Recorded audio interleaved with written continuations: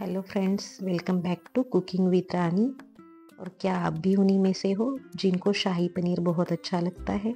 वो प्लीज़ पूरी रेसिपी देखिए। तो चलिए स्टार्ट करते हैं। मैंने लिया है 200 ग्राम पनीर, दो प्याज, दो टमाटर, छः से सात हमने लिए हैं काजू, अदरक और हरी मिर्ची। चलिए मसाला बनाते हैं। उसके लिए लिए है मैंने कढ़ाई। कढ़ाई में डाला है एक चम्मच ऑयल ऑयल सारे कढ़ाई में फैला देंगे और इसी में हम फ्राई कर लेंगे हमारा पनीर। पनीर को दो मिनट के लिए फ्राई करेंगे। कढ़ाई हमारी गर्म हो गई है और तेल भी गर्म हो गया है अच्छे से तो इसमें हम डालते हैं हमारा पनीर। और पनीर को आप चाहे तो फ्राई करें या ना करें, शाही पनीर में ऐसे नहीं ज़रूरी नहीं है कि पनीर को फ्राई ही करें। ऐसे ही कच्चा भी डाल सकते हैं। पनीर को दो मिनट में फ्राई कर लूँगी, क्योंकि मुझे फ्राई किया हुआ अच्छा लगता है। तो पनीर को पलट के दोनों साइड हम फ्राई कर लेंगे। जैसे ही पनीर फ्राई हो जाएगा तो हम इसको दूध में निकाल लेंगे। आप चाहे तो पानी में भी निकाल सकते हैं, इससे ना पनीर है, सॉफ्ट रह जाता है, और इसका टेस्ट भी एकदम शाही आ जाता है। तो हमारा पनीर फ्राई हो गया है और हमने एक कटोरी में दूध लिया है, लगभग एक कटोरी उसमें डाल दिया है और लिया है प्याज सेम कढ़ाई में। काट, कट के, काट के प्याज लिया है हमने, जो पहले लिए थे दो प्याज वो कट कर दिए हैं और इनको हम फ्राई करेंगे दो मिनट के लिए। ज़्यादा फ्राई करने की ज़रूरत नहीं है और उसी में डाले हैं मैंने काजू और हरी मिर्ची। अदरक, लहसुन और सबको हम और दो मिनट चलाएँगे। हमारा मसाला थोड़ा फ्राई हो गया है। इसी में हमने डाले हैं टमाटर।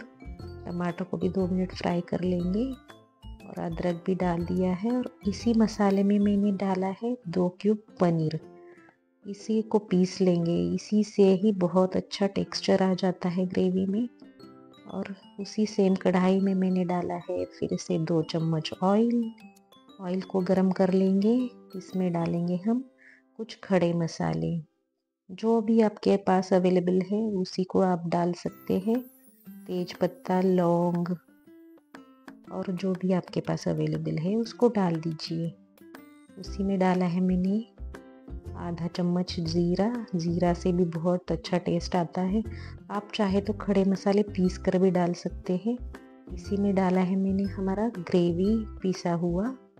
इसको हम अच्छे से चलाएँगे और जब तक ऑयल नहीं छोड़ेगा, तब तक इसको चलाते रहेंगे। लगभग तीन से चार मिनट में ये मीडियम फ्लेम पे आप पका लीजिए। इसमें डाला है मैंने कश्मीरी लाल मिर्च, आधा चम्मच, जीरा और जीरा पाउडर डाला है मैंने, धनिया पाउडर डाला है, आधा आधा चम्मच।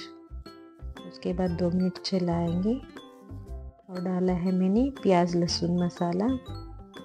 ये गरम मसाला, आधा आधा चम्मच। ज़्यादा इसको हमें तीखा नहीं बनाना है तो सारे मसाले मैंने आधा आधा चम्मच डाले हैं और इसके बाद डाला है एक चम्मच मलाई। मलाई जो है मैंने बड़ा चम्मच डाला है, आप अपने स्वादानुसार या आपको जितना पसंद है उतना डाल सकते हैं। कम ज़्यादा कर सकते हैं। इसको चलाएँगे हम दो मिनट के लिए। देखिए कितना सुंदर कलर आया है। कश्मीरी लाल मिर्च डालिए तो बहुत ही सुंदर कलर आता है इसका। और ऐसे ही मसाला हम फ्राई कर लेंगे दो मिनट और चलाएँगे। जिसके साथ क्रीम भी बहुत अच्छे से मिक्स हो गई है और मसाला ऑयल छोड़ने लगा है। इसी में डालेंगे हमारा मिक्सी में पानी डाल के या दूध डाल के आप डाल सकते हैं। मिक्सी में जो भी मसाला है वो। फिर दो मिनट चलाएँगे हम इसको मीडियम हीट पे। गैस को हमें मीडियम ही रखना है और इसको ढक देंगे हम आधा मिनट के लिए। इससे भी बहुत अच्छा टेस्ट आ जाएगा और हमारा मसाला पक जाएगा। देखिए कितना सुंदर कलर आया है और इसमें उबाल भी आया है।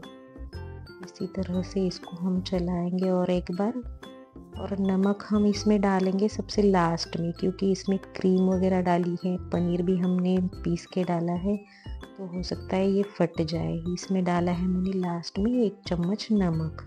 नमक आप कभी भी लास्ट में डाल दीजिए, जब भी कोई ग्रेवी बना रहे हो तो। क्योंकि बीच में जो हम दही या दूध वगैरह डालते हैं तो वो फट जाता है नमक से। जब तक ये पक नहीं जाता है, तब तक कुछ नहीं डालना है। और ये हमारा मसाला पक गया है अच्छे से और हम डालेंगे पनीर और दो मिनट इसको चलाएँगे। इसका टेस्ट बहुत ही अच्छा आता है, आप बना के ट्राई कीजिए और इसको हम दो मिनट और रखेंगे। देखिए इसमें बहुत अच्छे से ये उबाल भी आ गया है और कलर भी अच्छा आ गया है इसका। इसी को और दो मिनट हम रख देंगे ढक के। जैसे पनीर पक जाए। और रेडी है हमारा शाही पनीर। इसको मैंने धनिया और पुदीना से सजाया है। ये बहुत ही टेस्टी हो गया है। बच्चे तो वेट ही नहीं कर रहे थे जब तक मैं फ़ोटो या खींचूँ या वीडियो बनाऊँ। देखिए, पनीर हमारा रेडी है। आप इसको नान, पराठा या चावल किसी के भी साथ खा सकते हैं। वीडियो अच्छा लगा तो हमारे चैनल को लाइक शेयर एंड सब्सक्राइब कर दीजिए। और ज़रूर से हमें बताएँ, कमेंट करके कि कैसा बना है आज का हमारा shahi paneer. Thank you very much for watching.